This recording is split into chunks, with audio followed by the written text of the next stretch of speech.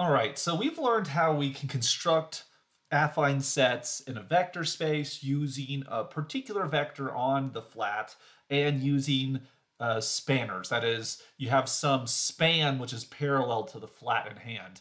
But what if we don't know who the spanners are necessarily? What if we just know vectors on the plane? How, how can we describe the flat internally without needing these external spanners to describe it?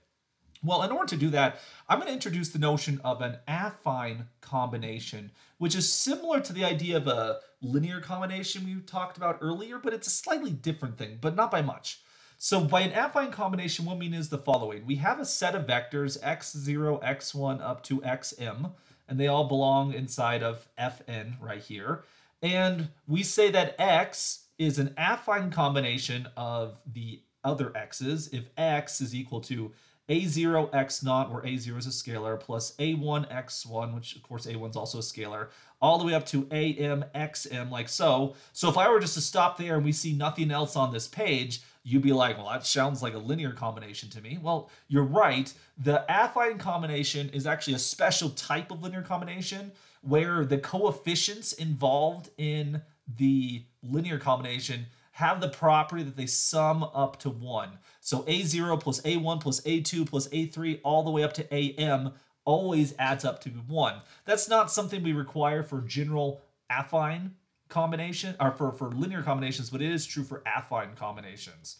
And so then we define the affine span, the affine span, which will denote this as AFF of the set of vectors. So very similar to the spans we talked about before, which we could call those linear spans to distinguish between affine spans. So the affine span will be the set of all affine combinations of the vector, much like the span, aka the linear span, is the set of uh, linear combinations of all of those vectors there. And so the affine span, by definition, is just the set of all affine combinations. So you take linear combinations of the vectors so that the coefficients add up to be 1. So for example, we could say that a vector is 1 half, the first vector v1 plus 1 half, the second vector uh, v2. That would be an affine combination. We could take like 1 fourth v1 plus 1 fourth v2 uh, plus 1 half v3. That would be an example of an affine combination. But also the coefficients don't have to be positive. They just have to add up to 1. So we could take, for example, 2v1 uh, minus v2 that would be an example of an affine combination because 2 minus 1 is equals 1 that's that's what we're that's what we're requiring here so the affine the the affine span what this has to do with our with the flats we've been talking about is the affine span is actually the smallest affine set. It's, so it itself is an affine set, but it's the smallest affine set that'll contain those specific vectors, x0, x1, x2, all the way to xm.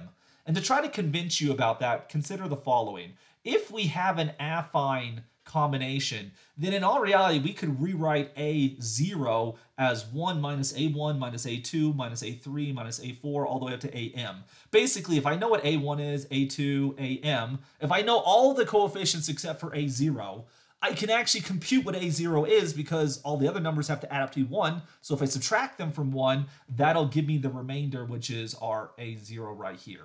So that's true for every affine combination. This is the main reason why we care about them right now. Now, hey, if I were to distribute the x naught onto all of these things and then combine terms not by the vector but by the scalar, this equation would transform into this one right here. x is equal to x naught plus a1, x1 minus x naught, plus a2, x2 minus x naught, all the way up to am times xm minus x naught right here. So this, this second equation right here, if we ignore the assumption on the coefficients, this right here looks like the equation of an m flat, right? We have a, the general vector x is equal to a particular vector plus a linear combination of all these other vectors right here. And so no, for the general flat, we don't require that the coefficients have to add to be 1. We could relax that condition. But notice that this equation is the equation of an m flat, and this m flat will contain each and every one of those vectors. So for example, if you set all of the a's to be 0, If you set all the a's to be 0, you'll just get x naught. So this m flat contains x naught. If you set the first coefficient to be 1 and all the other ones to be 0, then you're going to end up with x1 minus x naught. The x naughts cancel, so you get x1. Similarly, I could set the first one to be 0, the second one to be 1, all the others to be 0. Again, uh, the x naughts will cancel, and you'll be left with just an x2. So this m flat will contain each and every one of those vectors, x naught, x1, x2, all the way up to xm. So it contains all of the vectors we want, and if we then expand from affine combinations to linear combinations, we can produce a bunch of other things as well.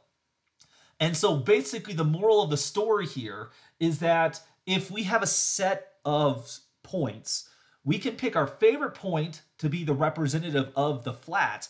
And then if we take the difference of all the other points from the, our representative, if we take the difference of all of those, these right here then form the spanners we can form the spanners of the flat by subtracting uh, particular points on the flat there.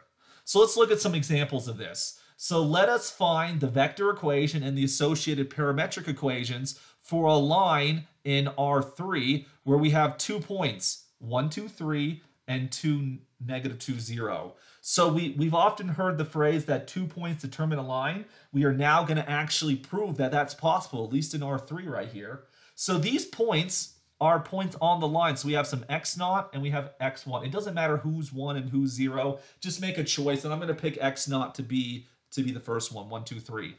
Now to find the line, I need a single spanner. I need some spanner, which we're going to call v. v is going to be formed by taking x1 minus x0. So we're going to take 2, negative 2, 0, and subtract from it 1, 2, 3. And when we do that, we get 1, we get negative 4, and we get negative 3. This then gives us the slope vector of the line. And so therefore, our equation of the line will look like x is equal to x naught plus tv. Uh, more specifically, x looks like x1, x2, x3, because we're in R3, plus our, this is equal to x naught. x naught we decided was going to be 1, 2, 3, but we could have interchanged the roles, and this could have been x naught if we wanted to. It's just a selection there. And then plus t times uh, our directional spanner here, we got 1, negative 4, negative 3. And so this then gives us the vector equation.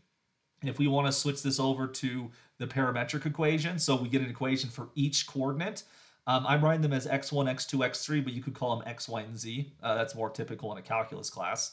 x1 equals 1 plus t, x2 equals 2 minus 4t, and then finally x3 equals 3 minus 3t. And so that's all there is to it. If you give me the points on the line, I can find the spanners and then I can use my vector equation to come up with the parametric equations if I want them. Uh, let's look at another example of such a thing right here. Uh, so in this example, what we're going to do is we're going to find an equation of a plane inside of R4.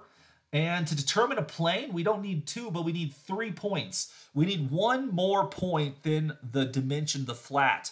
You might have noticed when we talked about those affine combinations, how the vectors were x0, x1, all the way up to xm, and these were useful to find an m flat. In order to define an m flat, you need one more point than the flat itself. So we need m plus one. That's why I started counting at zero. All right. So it doesn't matter who is who. So we'll just go in the order that they provided to us. This will be our x naught. This will be our x1. And this will be our x2. The preference, the ordering doesn't really matter too much. But then we have to create our spanners by subtracting these things. So our first spanner we'll create by taking x1 minus x0. So that will look like negative 13, 3, 25, and negative 2. Take away negative 17, 6, 29, and 0. And so simplifying that actually gives us the spanner of 4, negative 3, negative 4, and negative 2. So that's going to be our first spanner. The second spanner we're going to form by taking x2 take away x naught, like so. So x2 was listed above. We get negative 15, 6, 25, and negative 1. We're then going to subtract from it uh, x naught, which is still negative 17, whoops, negative 17, 6, 29, and 0. And then taking the difference of those things right there, negative 15, take away negative 17, so positive 2. Um, you probably don't need me to narrate the entire arithmetic here. We're going to get 2, 0, negative 4, and uh, negative 1. And so those are going to be our spanners. Therefore, using these spanners right here, our vector equation in general will look, look like x equals x naught plus su plus tv. And so if we plug in specifically what those things mean, we're talking about a plane in R4. So our x is going to look like x1, x2, x3, x4, like so. x naught, as we've been using it here, it, we had a negative 17, 6, 29, and 0.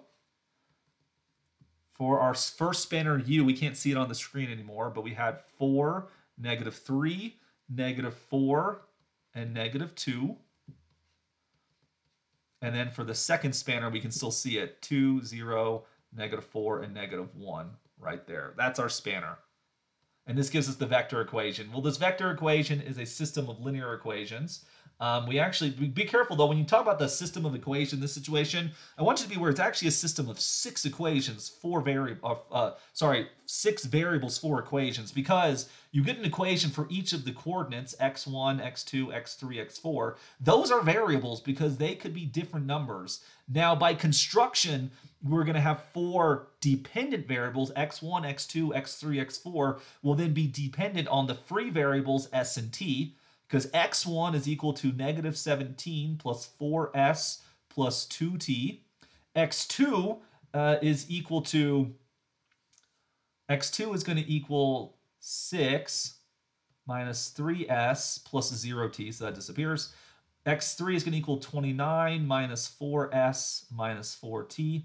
And then lastly, x4 is going to equal 0. We don't need to include that. Negative 2s minus t, like so. And so there, this gives us the parametric equations for this plane. If we don't have the spanners for a flat, like a, a line, a plane, a hyperplane, whatever, we can construct them by taking the difference of points on the flat, and those will then produce the spanners because of what we were talking about earlier with those affine combinations.